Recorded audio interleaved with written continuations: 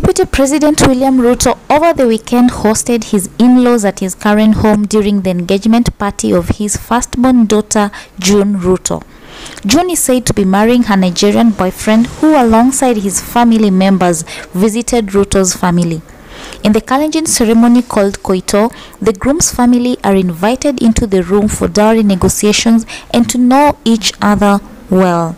Sharing on her social media, June wrote, Finally, he who finds a wife finds a good thing and obtains favor from the Lord. I thank God for the blessings in this memorable moment.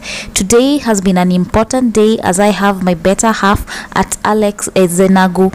Sincere thanks to God, my dad, mom, sister, friends, and all relatives. In videos shared on social media, the guest could be seen dancing to traditional songs. The theme color of the event was white with a touch of gold.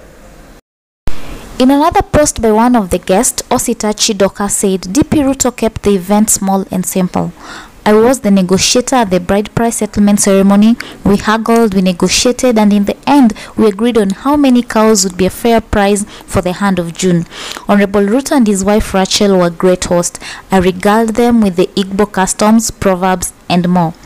In November last year, the DP had urged June to get married and settle down to raise a family. He was speaking during the traditional marriage ceremony between Nakuru Senator Susan Kihika and businessman Sam Mburu in Laikipia County. He paraded June alongside Dennis Itumbi and David Nzioka, who stood up as he was making his address.